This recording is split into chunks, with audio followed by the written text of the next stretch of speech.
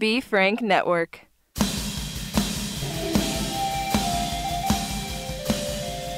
Welcome to another very special episode of Happy Never After. I am your host, Mara Merrick. Soon this will be called H&A Pod officially.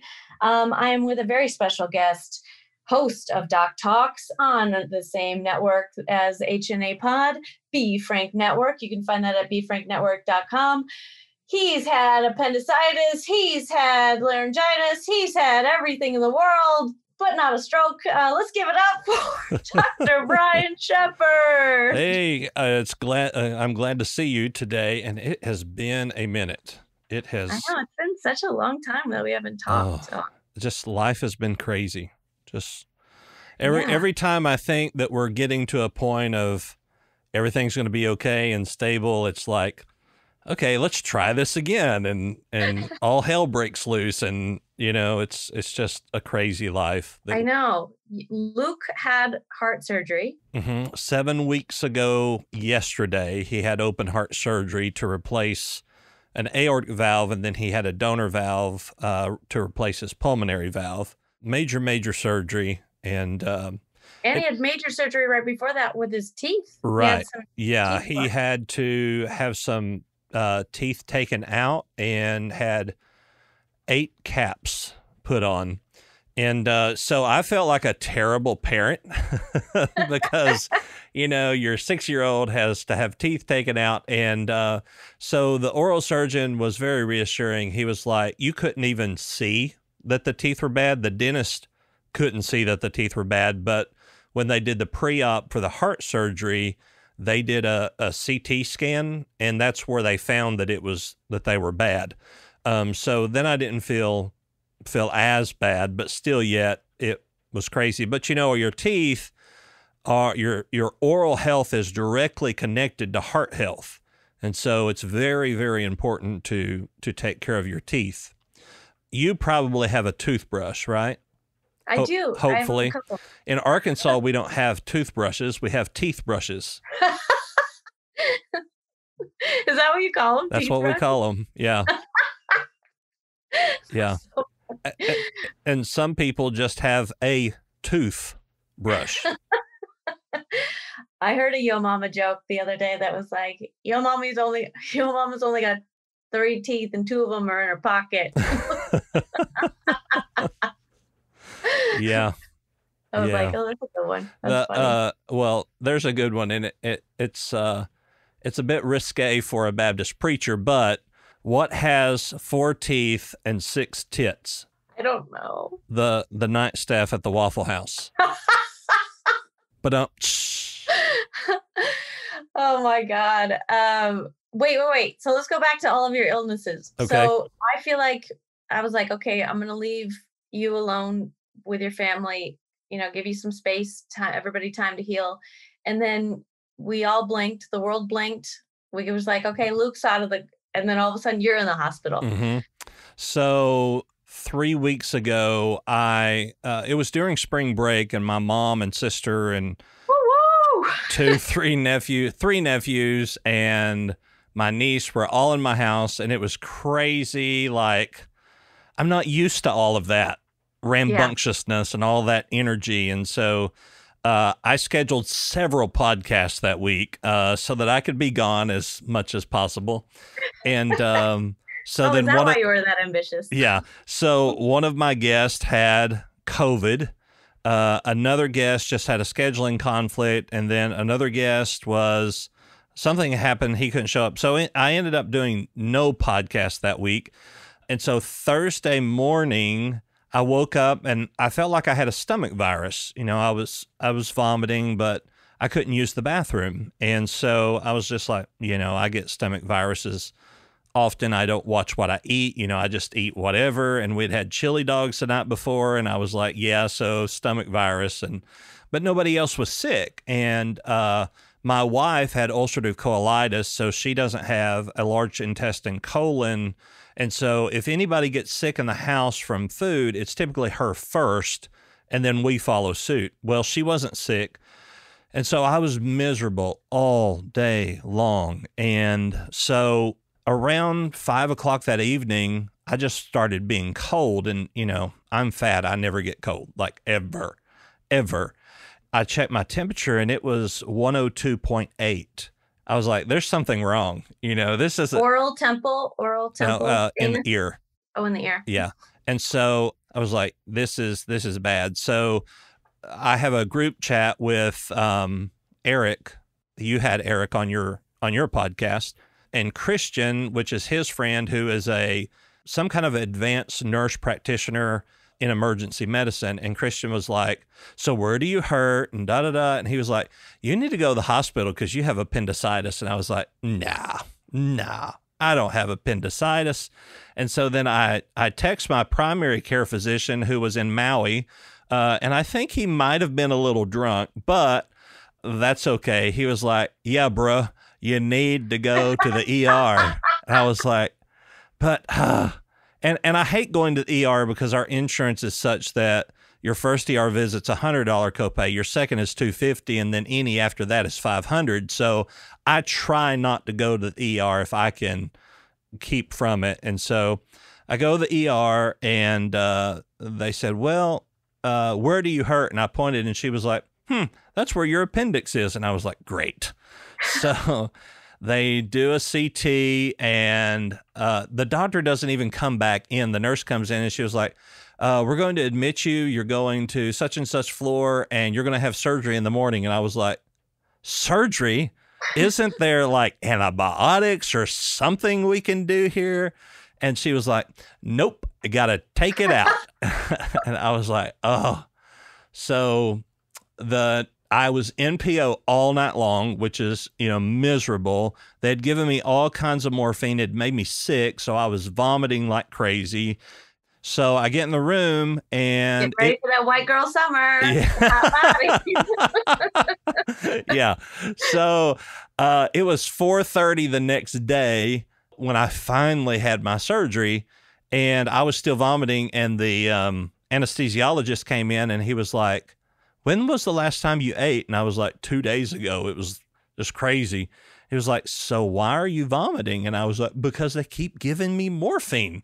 Morphine makes me vomit. And so he was like, well, I can't do your, I can't put you under if you're vomiting. You know, I just, we can't do that. That's the reason you're supposed to be NPO, so you can't. And uh, he was like, so are you nervous? And I was like, who wouldn't be nervous? And uh, so he's like, Well, I'm going to give you a little something, something to calm you down. And I was like, Do whatever. I'm just tired. And he gave me something that calmed me down. I remember going into the OR and they were. Was it a pill? No, it was an IV. And oh. uh, so then I got scared because I'm Maybe laying. a little clowny. Yeah. I, I, I, don't know what he gave me, but I was feeling good. I mean, I was feeling good. And so I was on the surgical table and then I got scared because I was like, am I supposed to be asleep? Am I about to watch them take out my appendix? And I was just so high. I was like, this is going to be awesome. Like, I'm going to absolutely love this. And so then he was like, okay, count backwards from 100 and take a little nap. And I was like, one. And then that was the last thing I remember.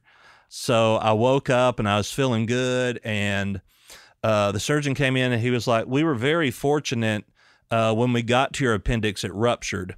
And so we were able to get it out and hopefully control, but we're going to keep you a few days on antibiotics and make sure that nothing is serious wrong. So I went in on a Thursday. I was discharged on a Sunday morning, which was Palm Sunday, which, you know, is a major holiday within the mm-hmm. Baptist church. And so I, I, you know, I was like, well, I told the church, I was like, I would have been there, you know, I would have been there but I was still in the hospital. So, you know, it, it's just one of those things. And so, um, yeah. So I was out on Sunday. Monday morning, I woke up and my whole left side was numb, like from my the side of my face all the way down. Now, not my stomach, but the outside of my arm, my leg, my foot. And it wasn't numb on the inside, it was just numb on the outside, which is weird. Mm-hmm. And so once again, I called my PCP because I don't want to go to the ER. You know, I'm thinking, well, maybe I slept really hard in my own bed and just readjusting, you know, all this kind of stuff. And he was like, Yeah, bro, you need to go to the ER. I was like, Why? And he was like, You could be having a stroke. And I was like, Crap. Uh, because, you know, I'm 37 years old. My dad had a debilitating stroke when he was 26. And so when it comes to strokes, you know, I take that very seriously and, and don't try to think that I'm too young for that kind of stuff. And and I would encourage any of our listeners or any of your listeners that, you know, any type of sign of stroke or heart attack or anything like that, that they take that very seriously and go go get medical treatment immediately. Uh, this is why I think also the body positivity movement has some faults. I definitely think that we should get away from the bullying and the body shaming, hmm. but we can't get away from the health side of carrying extra too much weight. You know what I mean? Yeah. Okay. Well, I'll, I'll tell you this because you'll find this funny. And I didn't at the time, but now I do. My doctor, my PCP, who finally, you know, got back in Arkansas and sober, he came in and he was like, Brian, I got something to tell you. And we have a pretty good repertoire. So it wasn't like, you know, didn't make me really, really mad. He was mm-hmm. like, for you to be so fat. And I was like, excuse me? Which, you know, I'm over 300 pounds. So I, I know, you know, I, I, intellectually know. And, and I've started Weight Watchers and I've started walking. I've lost 15 pounds in the last two weeks. So we may have to redo my character, you know, if, if I lose all kinds of weight. But uh, he was like, so for you to be so fat, your lipids, your cholesterol, bad cholesterol, good cholesterol, everything is just perfect. And I was like, well, that's good. And he was like, yeah, but as you get older, you need to be watching all that stuff because stuff can happen. And da, da, da. So, anyway, long story short, they did CTs, they did MRIs, they did blood. One, one day they took 24 vials of blood to test. Uh, they scanned the carotid, they did an echo, they did a bubble test, and everything was normal. The resident doctor discharged me under a diagnosis that, I mean, to me, it was. It was one of those things where, okay, let's give you a diagnosis so we can send you home. And he said that what happened was I was having psychosomatic numbness due to my PTSD and my current trauma, which I will just tell you is complete BS complete okay. BS. Um, I called my psychologist, I called my psychiatrist, and they were like, no, nah, nah. Can I tell you what it probably was? Do you know what it was? Um, well, I followed up with my PCP, and he believes it's one of two things. Um, so I'm going to see a neurologist. I'm going to uh, get CT or MRI of my neck and back. But Can I he, guess before you tell me? Sure. Can I guess? What I think what normally happens, what I've seen with my clients and case studies, is you have a trauma of surgery, everything inflames, there are nerves, inflammation is around the nerve, pinches it off, you lose you lose that communication. Right.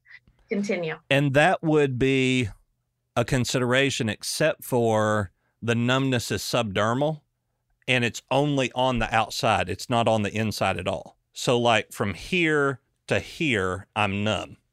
And so, in order for that to, if it was a nerve, then my whole arm would be numb. His guess was one of two things. He said, the first thing, which is highly unlikely, is that you have a lesion somewhere on your back, uh, on your spinal cord. He mm-hmm. said, but you would have to have two of them in two separate places for your upper body to be numb and then another for your lower body to be numb. Mm-hmm. And that would be an anomaly. And you know, just that really would be difficult to, to happen that way. He but said, you're kind of odd and you get weird things, so it could happen. It could, and and I was like, well, if it could happen, it's going to happen to me. And uh, he said that he really believes that I had a minor brainstem stroke.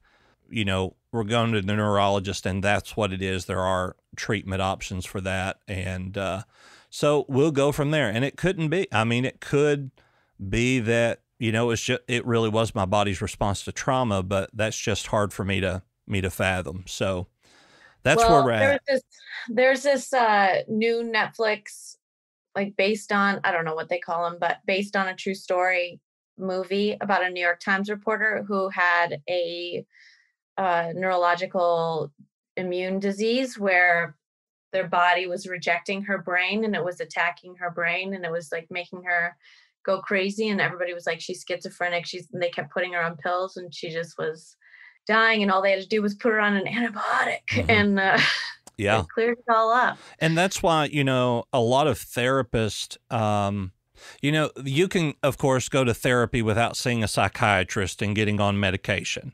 But i think it's important for us as therapists if if we realize that a patient is at a point of where there are you know schizophrenic tendencies or we believe there's a schizoaffective or really you know up and down attitudes and behaviors that we really should refer them to a psychiatrist that is more of a a finder of illness as opposed to let's treat the symptoms.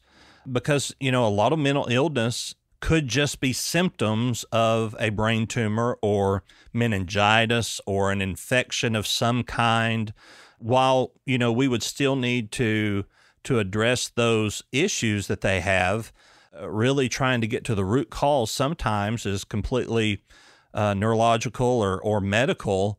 Uh, and once those things resolve, you know, you get better. And so yeah. I really do think it's important that when we look at mental health, we look at the complete picture of health. Well, I was watching um, what we're going to talk about in a second TikToks yesterday, and I was noticing I watch TikTok. So I'm doing this master course for my for my certification and it is I've been studying every day a minimum of 4 hours and I'm still only 36% through my coursework and I have been doing this for like a month. I'm like, oh, when is this going to be over?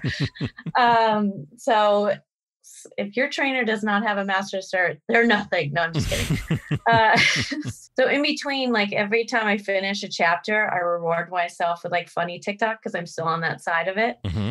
And um, I left my phone in another room because if it hears you, it changes your whole world. And that's uh, right. That is right.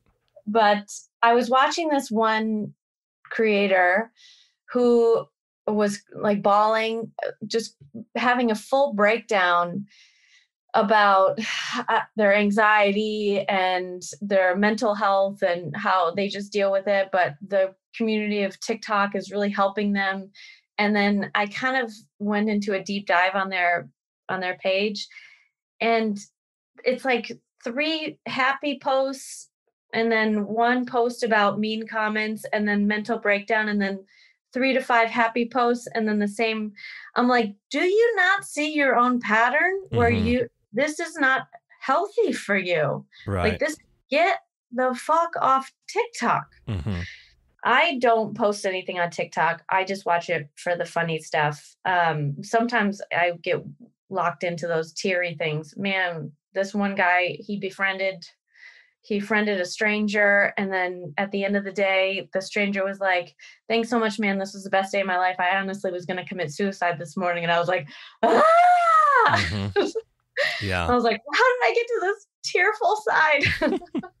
well, you know, and I sent it to all my friends. uh, the the problem with being so wrapped up in social media is that it really does affect our mental health, just like anything else. But I think I think in this particular person's uh, issue that that they have happy posts and then a breakdown and then a complaint about is one of the things that social media does is it exacerbates unhappiness.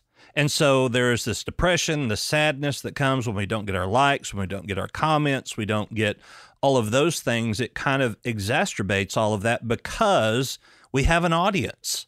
And then, you know, you have a breakdown and everybody's, will. We love you, continue doing what you're doing, you make a difference. And then we get that dopamine rush off of this positive thing. And then before long it's gone. And then you're down depressed and all of that kind of stuff again. And then it also really does make us feel in a lot of ways inadequate even if we're successful you know when i when i was on tiktok i had you know close to 300,000 followers but then i had friends who were on there that just did stupid stuff and had over a million followers And you know, it was it it really made me think, well, is what I'm doing inadequate? Is is what I'm doing even worth the effort that I put into it? But then when it comes to that one person that says, "You saved my life," or "You helped me through this troubled time where I didn't know where I was going to do," uh, we have to carry that high with us and remember, look, if in life we positively affect one person, True. then are we not successful? How do we measure success? Yes, but is that also a mirror image of a toxic narcissistic relationship where the narcissist does one thing that's positive and then you hold, I forget what the term is, but you hang on to that. You're like, I remember that one nice thing. And then they just feed you a little bit of it every time you're like almost ready to leave. They're like, oh, here's just a little, little more pebble of that goodness, Mhm. and then you hang on to the memory of the high that you Well, felt their early. their love bombing causes a trauma Love bond. bombing. Yeah. And so yeah, they will beat you down in the moment that they think they're going to lose control over you, then they love bomb you so that you'll stay. And a shameless plug here, I have a podcast coming out with Matthew Pfeiffer, who is a expert narcissist, uh, person that helps people with trauma bonds and get out of narcissistic relationships. And we have a very good discussion about how to recognize a narcissist, how to recognize that they are hurting you. And then we go into a very uncomfortable area about narcissism and the church and how that the church is full of narcissists. I honestly knew that from some of my Christian, like they talked about dealing with your ego and narcissism and how even reproducing is narcissistic Mhm. and how the church encourages you to reproduce. And it's like feeds that, whew, Mhm. Yeah.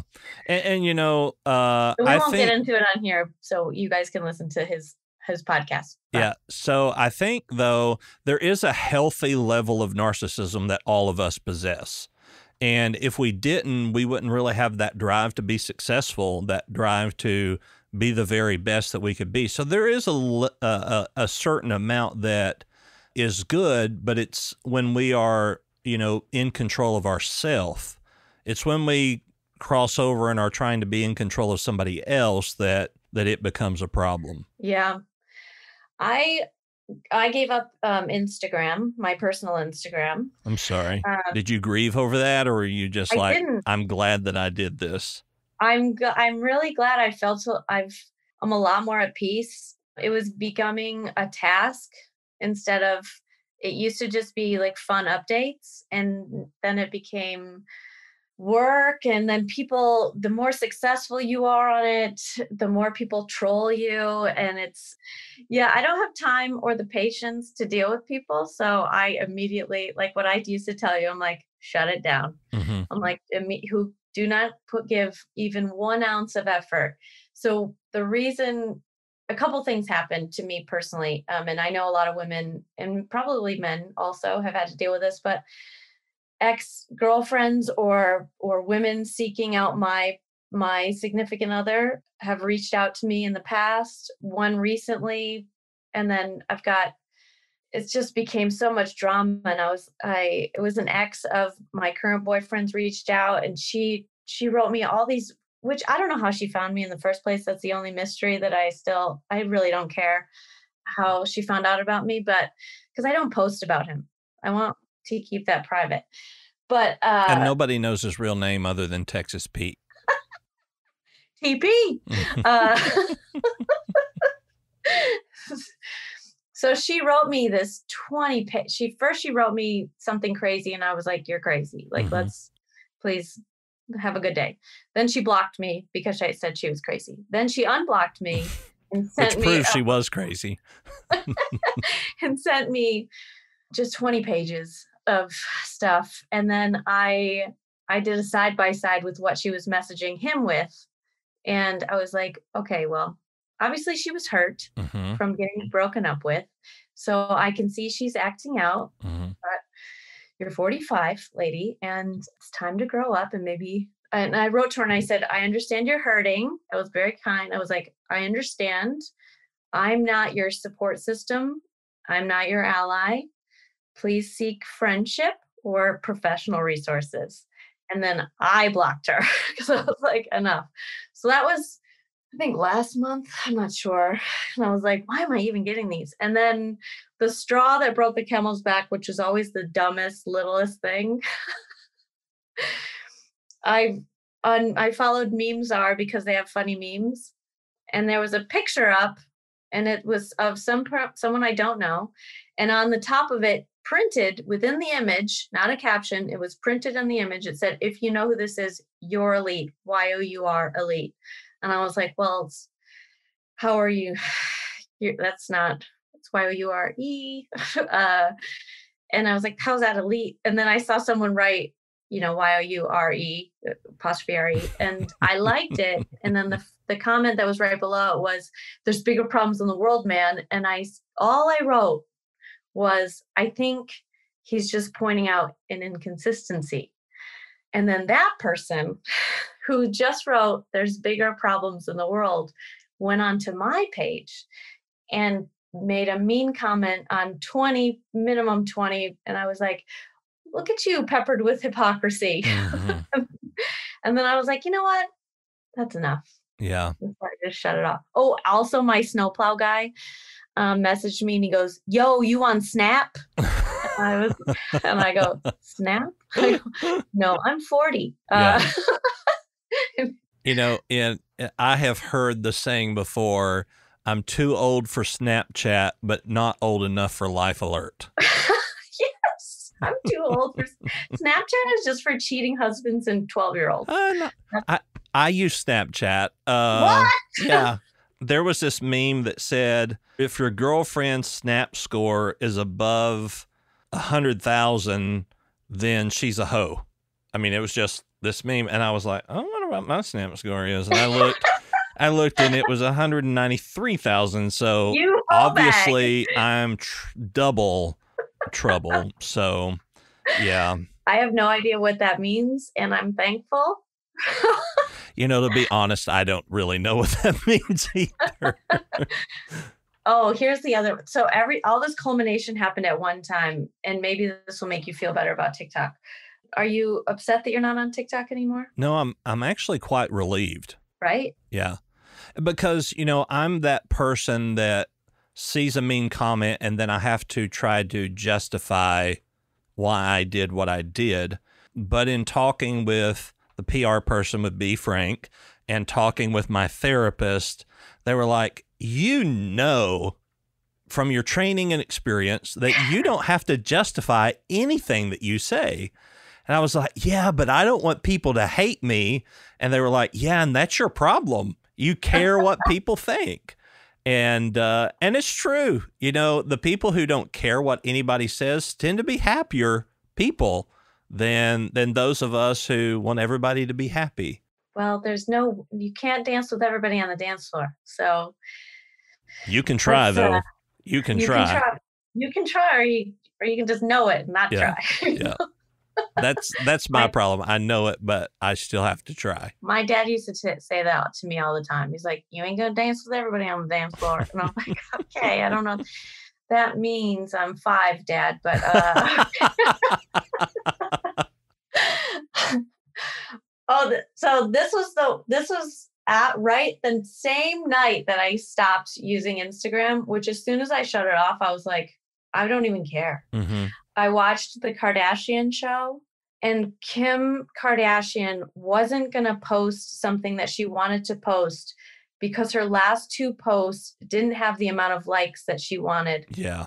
She's like, I'm going to wait. I was like, is this what the world is coming to? Mm-hmm. This is ridiculous. But you know who Gary Vee is, right? Yes, I'm mixed on him. Yeah, yes. I, I am too. But one thing that he said that I agree with is that when it comes to social media, it's not always about how great your content is. Most of the time it's about how much. It's it's really is quantity over quality. And I think a lot of us uh, me I can talk about me is that I I really do miss that that it's not about posting once a day, you know, it's about posting and finding what works and then Mhm. honing in what you see what works. But also have to understand that it's only going to work for a period of time, you know, Right. and then you have to readjust. The thing that I found, I feel like you got a little trigger shy also was before when you were on TikTok, you were so wildly successful immediately and you were just you and just kept putting up stuff that was you. And now you think too much about things. yeah. And I just, I would love it to see you just say, fuck it. I'm just going to be me. Mhm. so uh, that would be cool. Yeah. I wish that for everyone. Yeah. But you know what really hurt in all of that was that So when, should we tell everybody? Should we kind of go through it a little bit? Let's. yeah, if you, yeah, that's fine. You were on TikTok, and then you can tell the story. So I made this post that said that if you are 16 years or older, that there's a 87% likelihood that you have already met the person that you're going to marry. Now, on the outside, you would look at that and say, well, duh, you know? And the the way that I come up with this is that in the United States you have to be at least 16 to get married, right? And so if you're 16 years or older, you have the ability to get married. Well, then if you take that and you look at how many people have been married in the United States population, you see that if you are of age to marry, that there's 87% chance that you've already met your spouse. Well, 16 to 18 is kind of an outlier, but they're still there. And so if you're 57 and married, there's a 100% chance that you've already met your spouse. And so it was one of those things where, yeah, this is one of those facts that are very anecdotal, but there is empirical evidence to to agree with that statement. But at the end of the day, it's supposed to be fun. It's supposed to be things that you really think about and, you know, open your mind. So then there was this person on TikTok who has a doctorate of clinical research, and there is a difference between practicing psychology therapy, where we have to expand our mind and think about things, and then clinical research, because on research, it has to be fact, it has to be data, it has to be able to be reproduced.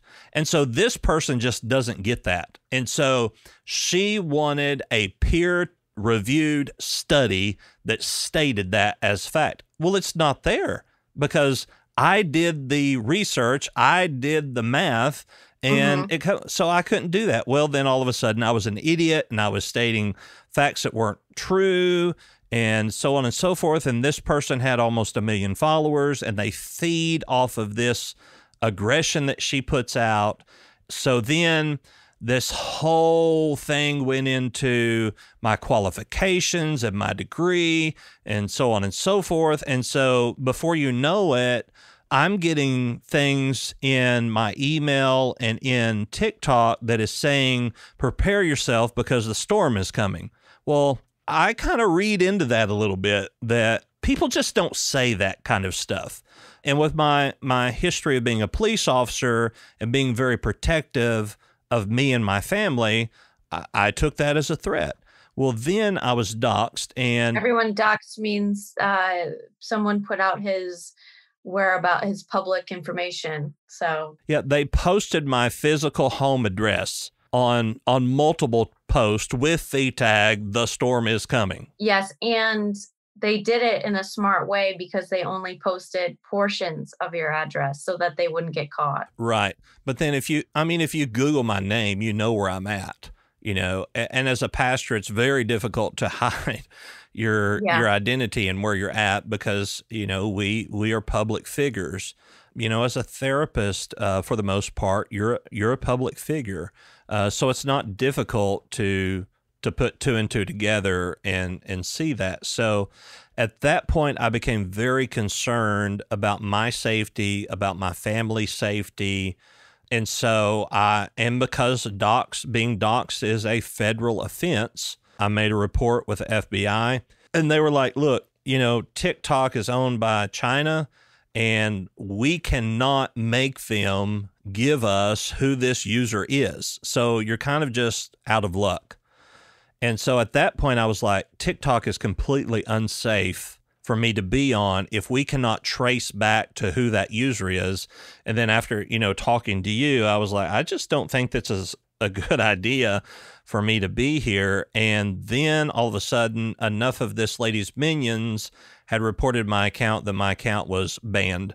And I was like, it's not worth, it's not worth going back and starting over and trying to do this. And especially with it, it being so hostile and being unsafe and there's just a lot of stuff out there. TikTok is mean. Like Instagram and Facebook, although they are a little biased and they have they do sway one way or the other, they do they do they are tougher mm-hmm. on the user. You can't just go and bully someone. Right.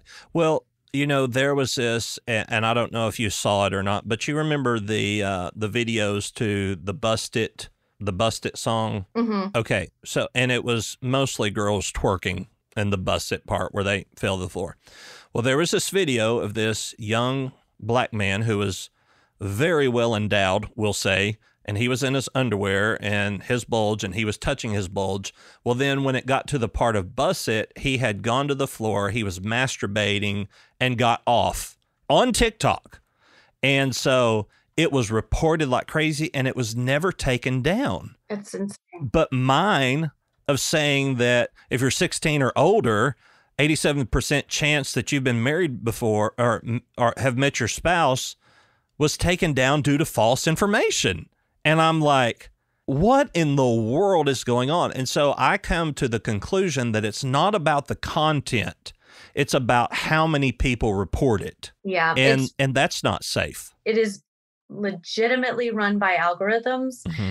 So you there are no it's judge, jury, the whole deal is all electronic based. So there is no like I'll put this up on the HNA pod Instagram, but Perez Hilton got kicked off of TikTok and it was a real low point in humanity. I think he was crying. He reached out to, he's like a 45 year old man also, and he reached out to these 16 year old girls that were number one girls on TikTok to see if they could sway TikTok to bring him back. And I was like, what point in your life mm-hmm. are you at where you're like, I gotta be on TikTok or else my life is meaningless? Like, whoa, bro, like reassess everything. Well, you know, the lady that that led all of this towards me, she was in her late 60s, early 70s.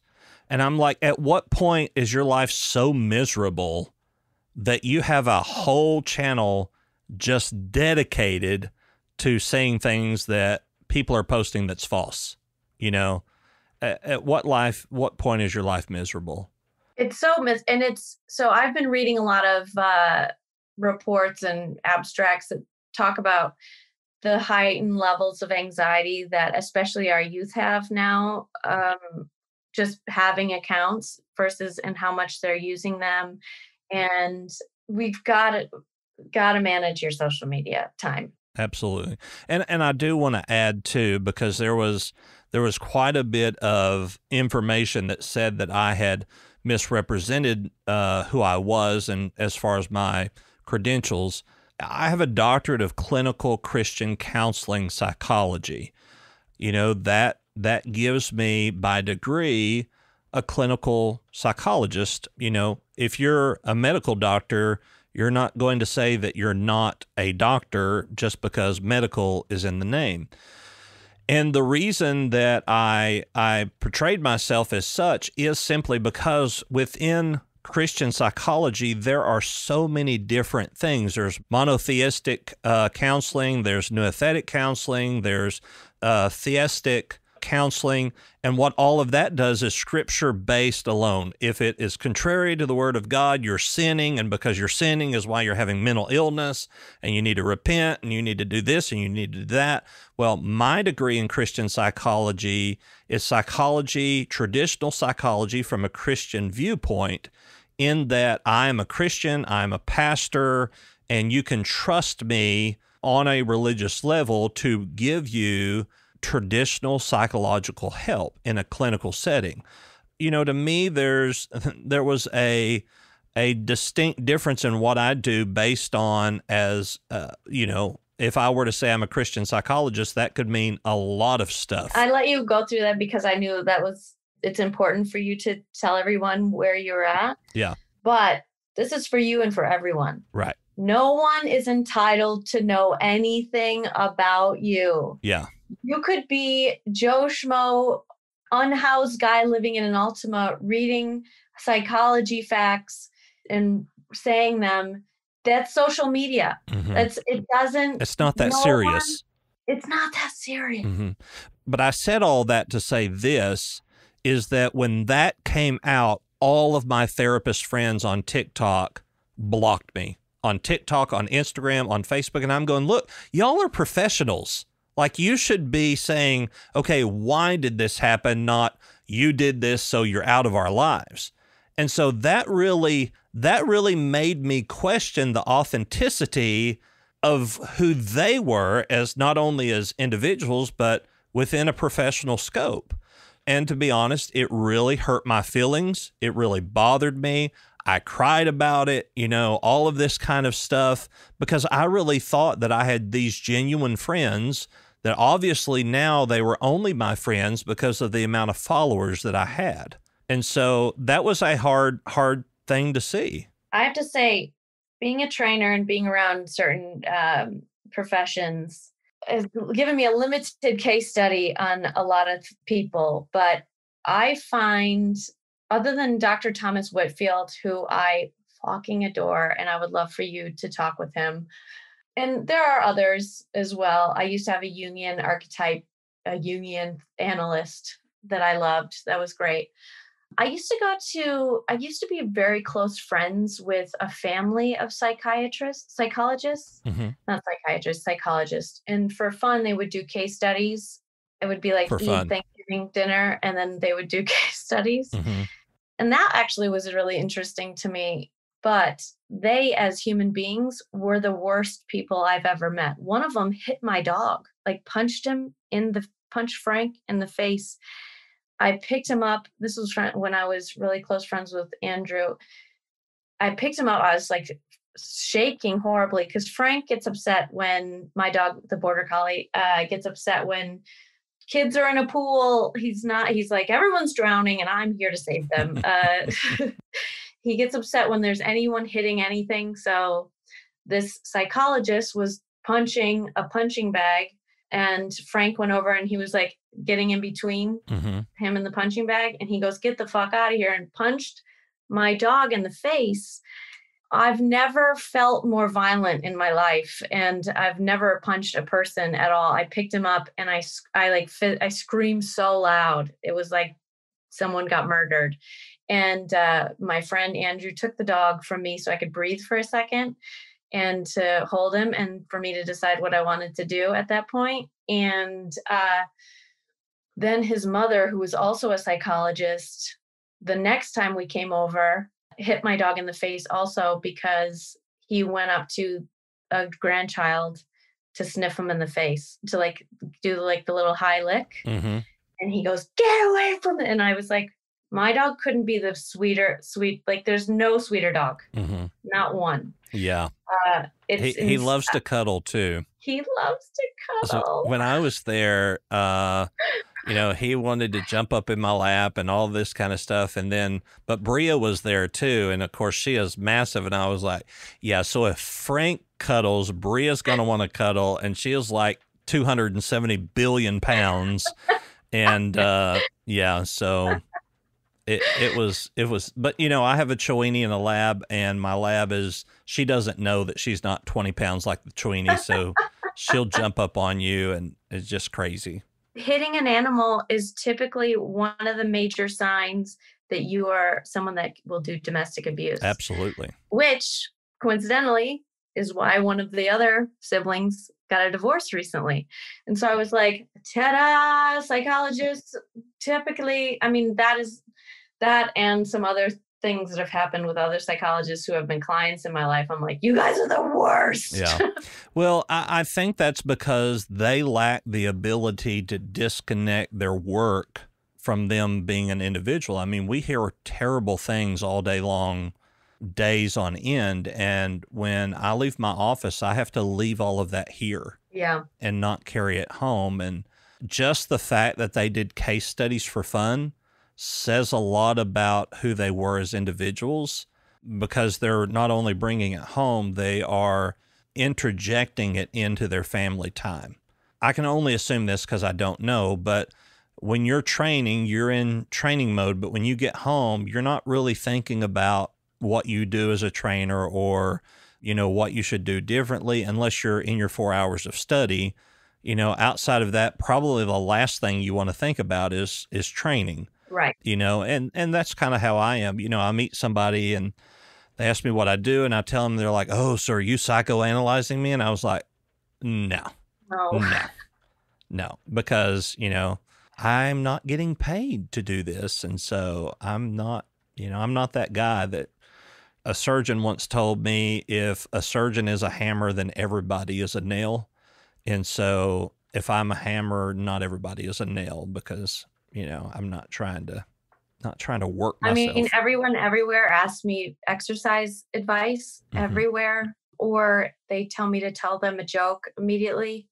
So annoying. I'm not asking you to be my accountant at parties, so just chill, dude. Yeah. Uh, so I do have to think. Sometimes I'll be polite and I'll entertain it, but a lot of times I'm just like, ha, ha, ha, and it makes no sense for me to laugh in that moment. But I laugh and walk I'm like, ha, you're right. I, I think walk I told you one Christmas I was down at my mom's and I went to their church's Christmas play, and uh, I was considering suing somebody for for something that they had done. It was some contract work, and there's an attorney in their church that's a family friend, and I just asked him what he thought about it. I mean, a whole three minute conversation. And uh, I was like, "Well, I really thank you for that advice, and that that has pointed me in the right direction." Two weeks later, I get a bill for two hundred and fifty dollars for a consultation.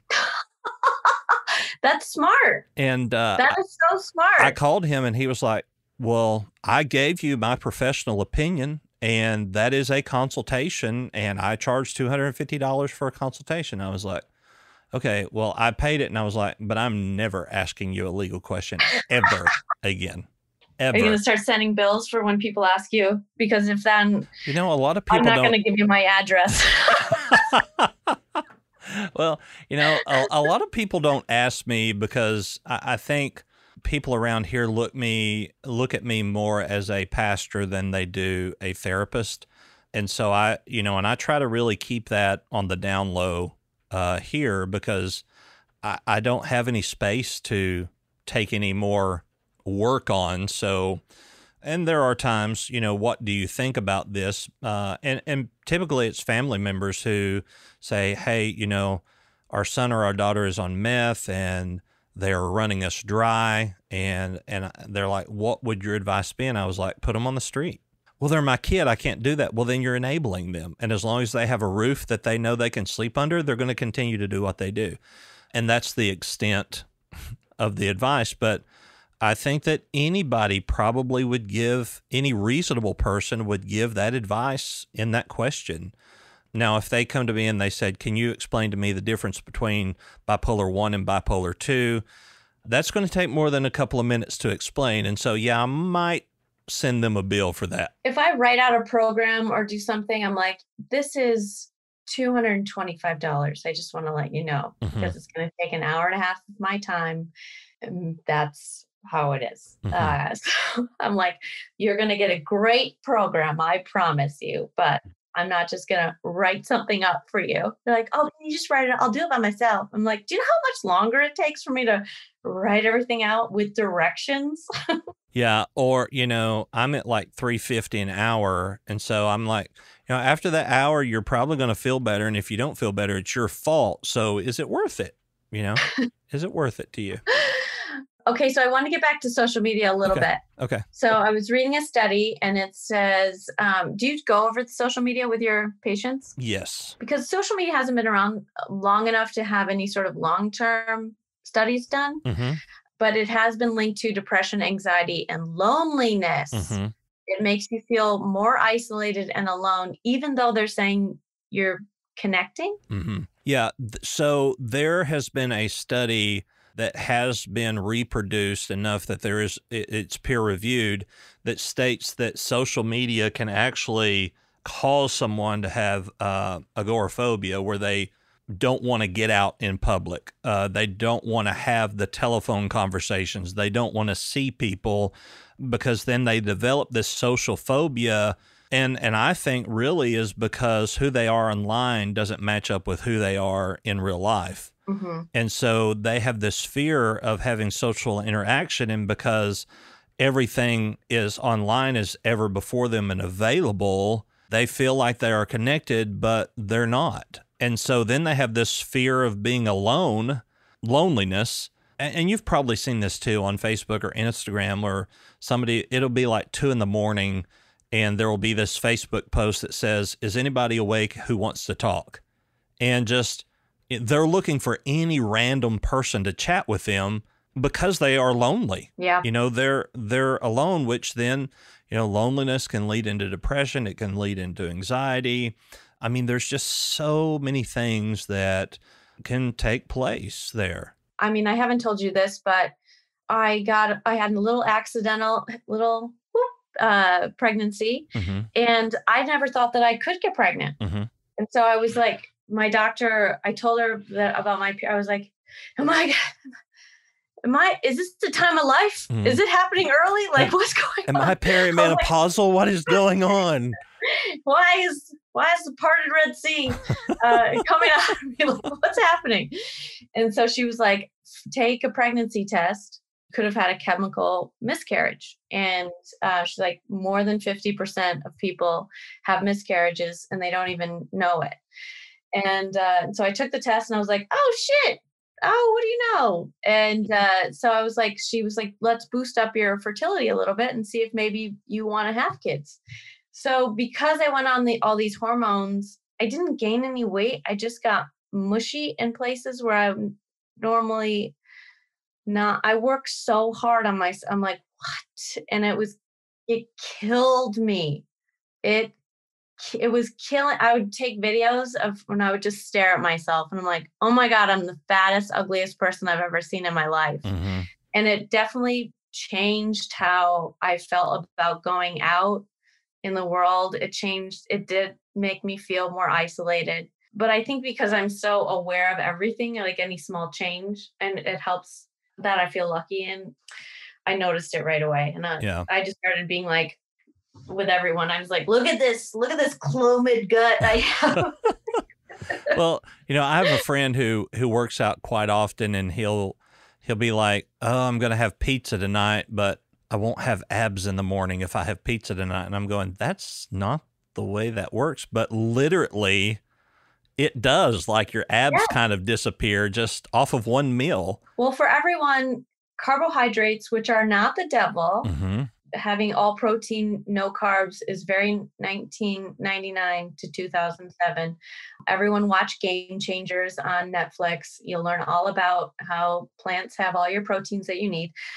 Carbohydrates are water soluble. What that means is that you have to bring on more water to digest them and your guts are what digests your food. So if you've got more water going to your gut yeah you're going to lose your abs and you're going to look bloated. Mm-hmm. but if you have more water going to gut you're also producing more serotonin. Oh yeah let's talk about that. Yeah. So 98% of your serotonin is not only made but stored in your gut uh, which is where the term comes from trust your gut because that's where your serotonin is. And I kind of explain serotonin as your happy juice. We need it. We need a lot of it. Um, pro tip if you need more serotonin, dark chocolate can actually produce more serotonin for you and increase that production. Uh, vitamin D, whether it be sunlight, uh, you know, or or fluorescent lighting, can increase serotonin. Really? Yes. And there was actually this case study you can you can look it up where offices started switching from fluorescent lighting into LED lighting, mm-hmm. and all of a sudden their depression rate and mental health days skyrocketed when that changed because being in the office all day they were getting unnatural, you know, vitamin D from the light, and now all of a sudden they don't. And so, I mean, it was very weird, but it it happened. So you know, the more water you have in your gut, the more nutrients that you have in your gut from plant, you know, plant based good things. If it's green, eat it. But then unless it's mold. unless it's mold, yeah. And you know, if but if you have a you know if you have a cold or something, go ahead and eat it because it could be penicillin. you know, who knows? Or uh, turn into Botox, freeze right, your face, ladies. right. So, you know, like things like corn, while it does have some nutritional value, it it's uh very high of caloric intake and and then you know turns to sugar. So not all vegetables are good. You know for healthy healthy gut production it's green vegetables that yeah. really really do and not only that green leafy right and it keeps you know keeps your gut working good you have regular bowel movements and you know one thing about your mental health is that i think well i had a doctor tell me one time he said most people's issue when they come to me, he was a primary care doctor. He said, most people's issue is from here up. And I'm like, yeah, but from here down really controls from here up. Mm-hmm. And, you know, there has been this movement probably over the last five or six years of people preaching gut health, yogurt, which I know that you're plant based only. You don't do dairy, right? Mm-hmm. Okay. So, like yogurt has acidophilus um, in it. So that is a probiotic and but you can get natural probiotics within vegetables because they keep that cleansing um, going on and i mean if you're that person that's having one bowel movement a day you're probably not eating enough green vegetables. Right. You should be going every 30 minutes after you eat. Also a scary story this just happened to one of my clients who doesn't eat a single vegetable because she thinks it's the protein power. I was like i'm gonna kill every time i'm like just eat the broccoli. It's look on the bag it says 60 calories if you eat the entire bag. And that's no calories she um this is not from anal sex she had a prolapsed anus mm-hmm. from not going to the bathroom absolutely for two weeks. Mm-hmm. It can so happen. everyone eat your vegetables. Or not eating eating vegetables can cause you to have ileus in your in your bowel, which is where your bowel stretches out like a balloon and then you have those ripples in the balloon. Well, that happens in your gut and then gas gets stuck in there. It's very, very painful.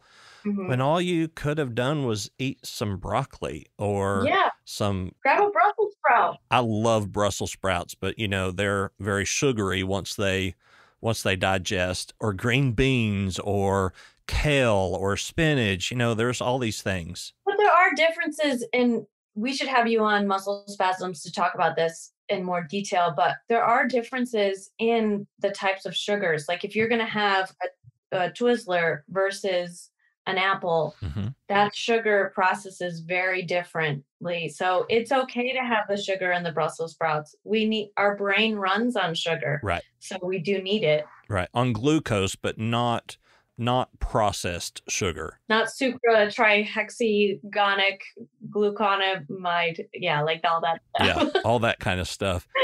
but you know, also your your sugar intake that is not natural sugar is just going to make you want more sugar.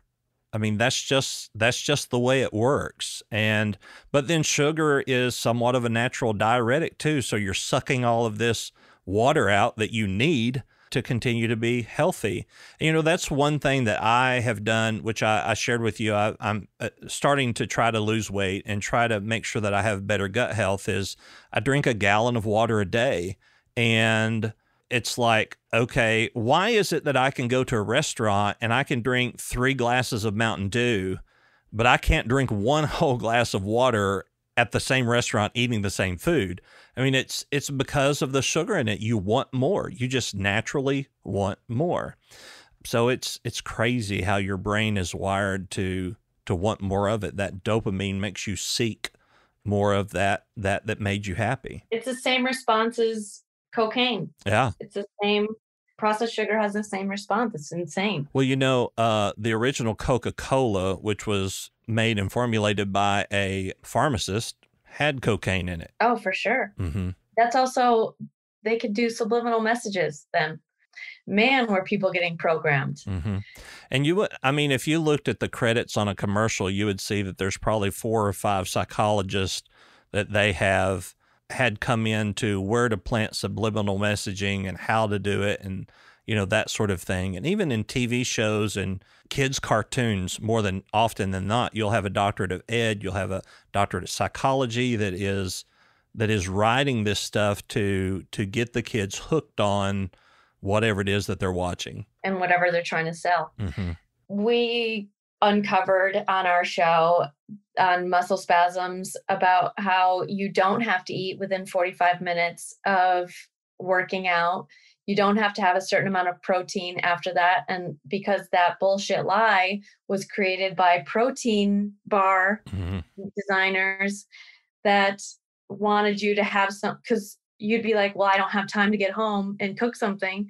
So I guess I have to eat something on the way home. Mm-hmm. I'll eat a bar on the way home. And then people were consuming 300 more calories a day. And then they were getting hooked on this stuff because it had the, the processed sugar. And it was like, do people, not, does everybody not see we're getting played here? Mm-hmm. Yeah. Well, it's kind of like, you know, the uh, epidemiologist in, I think it was France somewhere, who put out this case study that said vaccines cause autism. He was funded by anti vaccination companies. And so, you know, we really have to be careful on what we do trust as to what their motivations are. If you have this thing where it says, I will give you the secret of how to lose weight if you subscribe and pay $199.99, uh, you, you need to be a little skeptical. Suspect. Yeah. yeah. About that kind of stuff. And even, and you, you may or not agree with this, but a diet is not about caloric deficits. It's about having the energy balance and the exercise balance with the caloric intake because you can lose weight without being in a caloric deficit. Um, I don't know about that.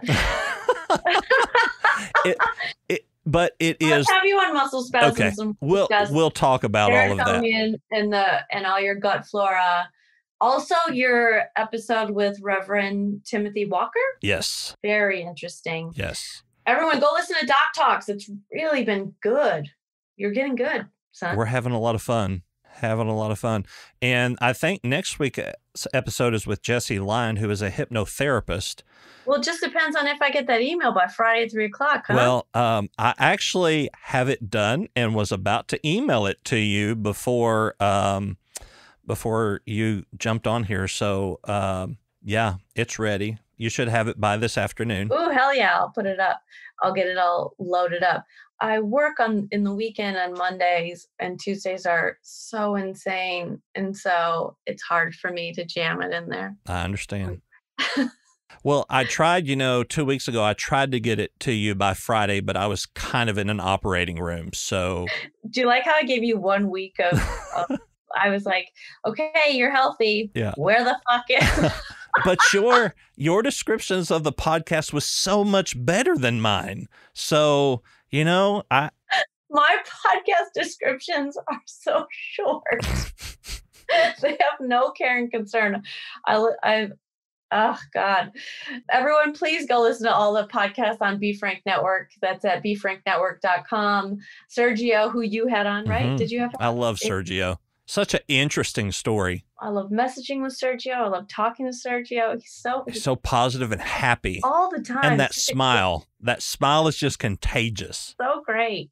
So everyone go listen to DBS. Uh, but where can they find you in your podcast? Um, they can find Doc Talks with Dr. Brian Sheppard uh, on most streaming platforms, which I'm sure you'll put all the links in your your description. But uh, make sure to follow our Doc Talks Instagram page and Facebook page to uh, where I'm really trying to ramp up in the reels and give the psychology facts there. And so that's at Doc Talks with Doc B on Facebook and Instagram. So if you want to follow my personal page, it's the underscore doc underscore Brian on Instagram. And of course, you can go to thedocbrian.com. All of my social media links are at the bottom of that page. And um, I'll make sure to post all the information that we talked about. We gave a lot of facts today, and I think um, we can cite some sources and put them up on the Instagram for both Doc Talks and HNA Pod and B Frank. We could put it up on that Instagram as well um, and Facebook pages. So make sure to follow Doc Brian and Doc Talks with Doc B, right? Mm-hmm. Doc Talks with Doc B. Yeah, Doc Talks with Doc B. That's what I call you. Call Doc B. Uh, you can call sure me anything you want so long as you don't call me late for supper. supper. Supper. Mm-hmm. Uh, and make sure to follow HNA Pod. Uh, thank you guys for listening and have a great weekend. Yes. Please stay out of the hospital. You take care of yourself. You too. I'll talk to you soon. All right. Bye. Later.